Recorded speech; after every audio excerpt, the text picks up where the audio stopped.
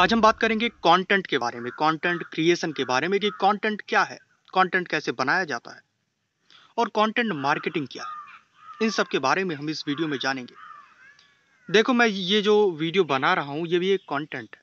अच्छा चलिए पहले मैं अच्छे तरीके से आपको कंटेंट के बारे में समझाता तो अब मैं टॉपिक पे आता हूँ। तो ये जो वीडियो मैं आपको बना रहा हूँ, जिसमें मैं कंटेंट के बारे में बात कर रहा हूँ, ये भी एक कंटेंट ही है। जो आप लोगों के पास एक प्लेटफॉर्म यूट्यूब के माध्यम से पहुँच रही है या फिर फेसबुक के माध्यम से। आप इसे देख रहे हैं। आप, एक एक्शन ले सकते हैं, जैसे कि आप मुझे सब्सक्राइब कर सकते हैं इसके बदले। और मैंने जो आपसे ये एक्शन करवाया है, ये मेरी मार्केटिंग है। तो मैं क्या कर रहा हूँ? मैं कंटेंट मार्केटिंग कर रहा हूँ। कंटेंट क्या होता है? आप जो वीडियोस देखते हैं यूट्यूब पे, वो भी एक कंटेंट ही है। आप वेबसाइट्स पे ब्लॉग पढ़ते हैं, वो भी एक कंटेंट है। आप पॉडकास्ट सुनते हैं वो भी कंटेंट है ठीक है? तो ये सब कंटेंट्स होते हैं जो भी आप सोशल मीडिया पे ऐसे नॉलेजेबल कंटेंट देखते हैं जिसके माध्यम से आप आ, कोई एक्शन लेते हैं या फिर कोई प्रोडक्ट खरीदते हैं कंटेंट के द्वारा तो आप तो वो जो कंटेंट प्रोवाइड कर रहा है वो व्यक्ति वो वेंडर वो कंटेंट मार्केटिंग कर रहा है। तो मुझे लगता है अब आपको कंटेंट का ओवरव्यू पता चल गया होगा कि कंटेंट क्या है।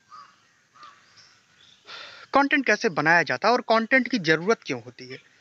देखो, अगर आप डिजिटल मार्केटिंग करते हैं या फिर इस फ़ील्ड से संबंधित आप कोई कार्य करते हैं, या आपके पास कोई प्रोडक्ट और सर्विस है जिसे आप सेल करना चाहते हैं तो विदाउट कंटेंट आप उसे बिल्कुल सेल नहीं कर सकते, ठीक है? आप फेसबुक पे एड्स बनाना चाहते हैं तो आपको ग्राफिक्स बनानी होगी, जिसमें आपको प्रोडक्ट के बारे में कुछ जानकारियाँ देनी होगी। आपको एड्स बनाना होगा वीडियो एड्स जिसमें आपको प्रोडक्ट के बारे में जानकारियाँ देनी होगी, आपको टेक्स्ट बनाना होगा। तो ये सब आ, कैसे होता है? ये सब कंटेंट के ही द्वारा होता है।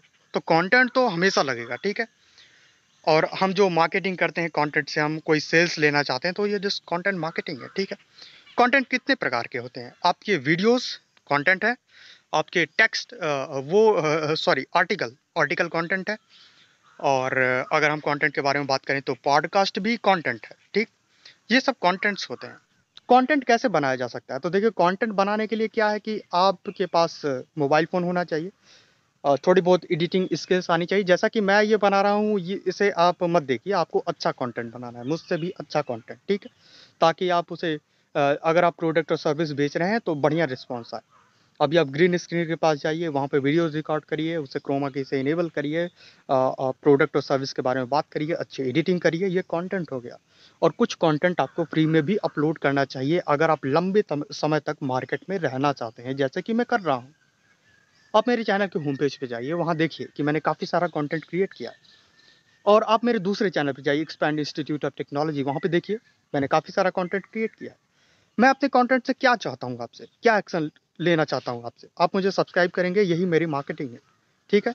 अगर मैं कोई प्रोडक्ट और सर्विस अगर सेल करता तो मेरा ये लक्ष्य होता कि मैं आपसे, आपके द्वारा अपने प्रोडक्ट को खरीदवाना चाहता हूँ। ये मेरा लक्ष्य होता तो मैं उस तरीके से कंटेंट बनाता। ठीक? तो इस वीडियो में मैंने क्या बात किया इस वीडियो में मैंने आपको बताया कि कंटेंट क्या है? कंटेंट मार्केटिंग क्या है?